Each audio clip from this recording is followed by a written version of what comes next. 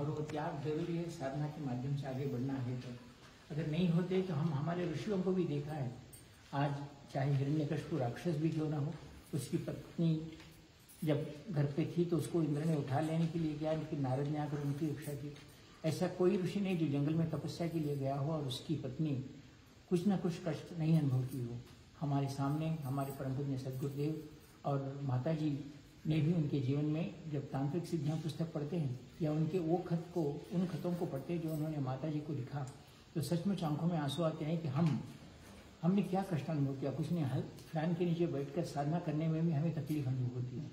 जबकि उन्होंने मुझे जब ये लगा कि उनके सास ससुर के पास जब बढ़ती थी मा, माता जी बढ़ती थी तो माता जी को बैठने के लिए भी समय नहीं मिलता था। इतना व्यस्त रहती थी, सुबह से शाम तक, रात के बारह बजे तक काम करना पड़ता था। ये गुरु ने लिखा है, मैं नहीं कह रहा हूँ। और ये, उन्होंने अपने जीवन में ये सब